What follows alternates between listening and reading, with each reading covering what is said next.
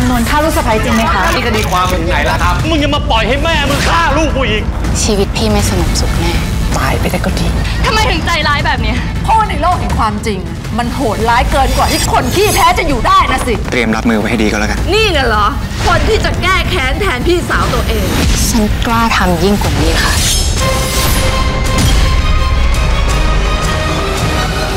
คนอย่างมาดามนวลไม่เคยถอยให้ใครง่ายๆสะพ้ายสายสตรอง เริ่ม